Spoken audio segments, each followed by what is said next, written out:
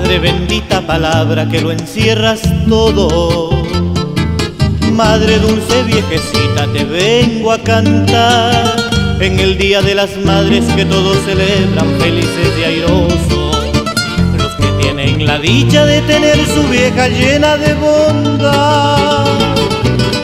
En tu cabecita que ahora cubierta de plata, guarda los bellos recuerdos de tu juventud, que sacrificaste para cuidar de tu hijo, que el tiempo y el destino tan cruel e inhumanos de ti lo alejó. Pero te juro, madre, que aunque viviendo lejos, de noche cuando duermo, te sueño junto a mí.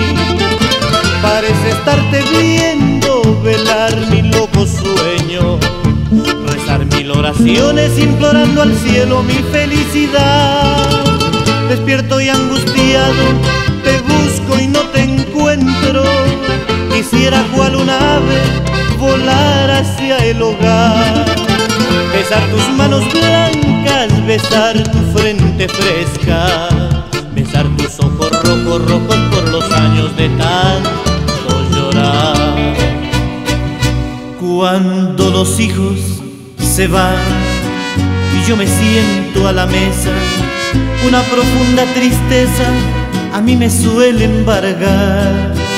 Veo la casa tan triste, miro las sillas vacías. ¿Dónde están los hijos míos? ¿Por qué los dejé marchar? Veo la casa tan triste, miro las sillas vacías. ¿Dónde están los hijos míos? ¿Por qué los dejé marchar? Cuando los hijos se van, nos queda el deber cumplido. Si no son agradecidos, los tendrás que perdonar.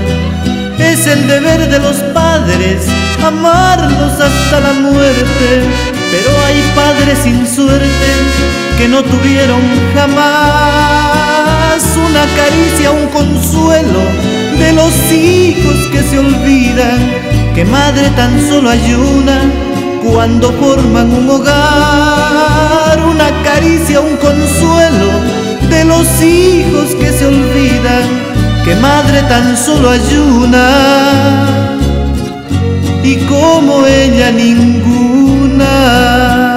Que Dios te bendiga, hijo mío. Vuelve pronto y nunca te olvides de mí.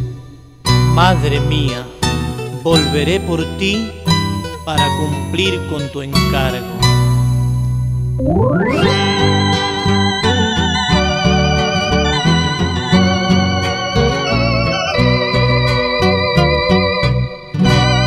Habló la madre así, triste y llorosa.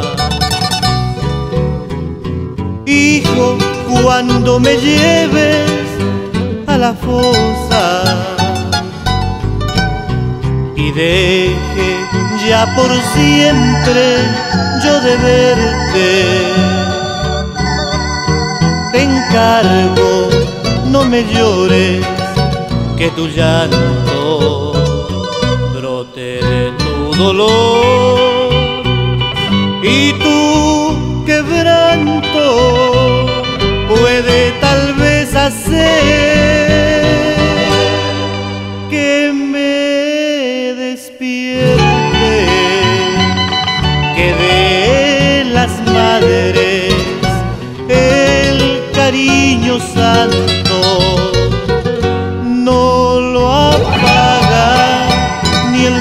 soplo de la muerte.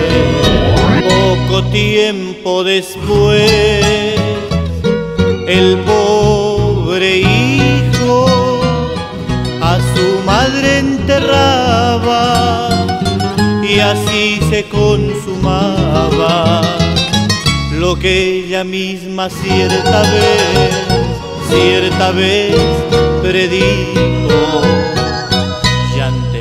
tumba abierta, llorando la torrentes, le decía, no he cumplido tu encargo, tu encargo, madre mía, madre del corazón.